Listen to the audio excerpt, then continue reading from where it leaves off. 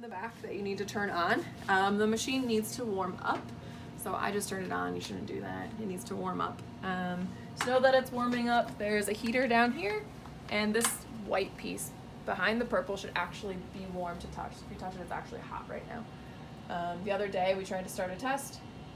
That piece actually wasn't plugged in anymore and so it doesn't read appropriately. So you really actually get screwed when that happens. So check to see if it's hot. Should should be hot, should be on. Um, you also need to always change this time in the lower corner. Um, for some reason the computer turns on, it's always 2011 and it's really early in the morning. Wasn't a bad year. Uh, I think I disagree. Um, so you need to just change the date and the time. Otherwise, if you would run a test and I ran a test two weeks ago at that exact same date and time according to the computer, the test you just ran is gone. You will never get it back. So you won't ever be able to look it up again. You can print it off right after you finish it, um, but it won't save.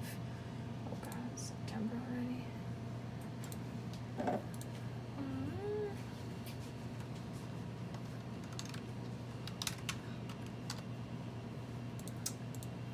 All right, so that's pretty much starting the computer. You wanna make sure that's changed, um, then you're ready to go. We have to do two calibrations.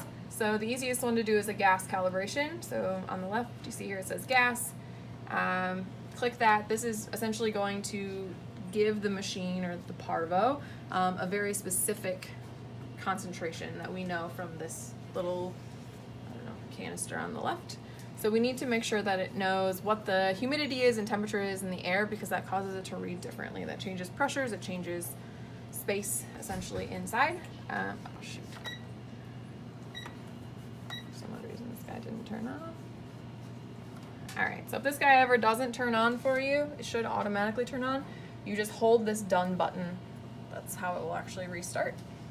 Um, if you see on the top here, we have the temperature in the room. So these things need to match. So this says room temp 23, this is 22, so we change it to 22. We then need the barometric pressure, which is here, which is 742.6, which is very different from what we had before. And then the relative humidity is right here, and that should just be 54. So you just need to match those three numbers. Um, these numbers here, you should not have to change. So room air is always expected to be room air. That shouldn't change except for how I'm breathing. And the standard gas should also not need to be changed unless you put a new canister on. Then you need to be able to check that it's actually correct. So if you really want to know, um, if you look on this canister, it says 4.000% CO2, 16.00% O2. So that's why it says 16 and 4 um, right there. Sometimes we'll have canisters that are 15.9999 and 3.99999 or something like that. So you just need to change it to make sure it matches. Uh, and then we're just gonna click OK. And essentially the computer will tell you what to do. So turn the gas cowl counterclockwise 90 degrees.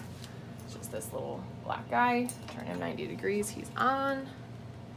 Click OK.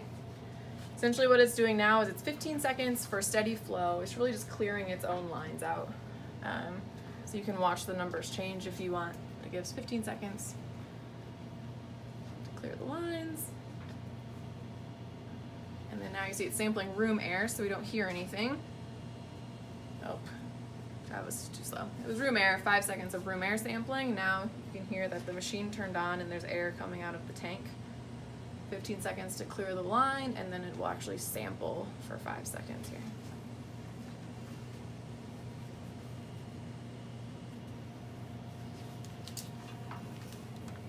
It says turn it off, so you do as it says and you click OK. So this reading is 1.3 and 0.3. Um, we want them all to be at least less than 1%. Um, because the barometric pressure was very different between today and the last time it was calibrated, I'm going to click OK and I'm going to do it again. More than likely, this essentially compares it to the old reading, so the last one we did. Okay, so it doesn't mean I did anything wrong or that the machine really messed things up. It's just very different than the time before. So I'm just going to click Save and try it again and see if we get something very similar.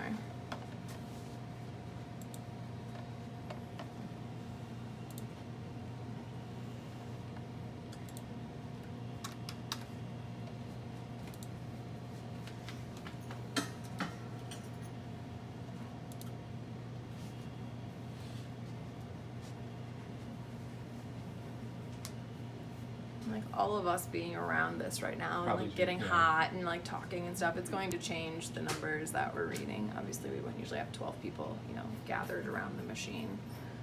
Um, but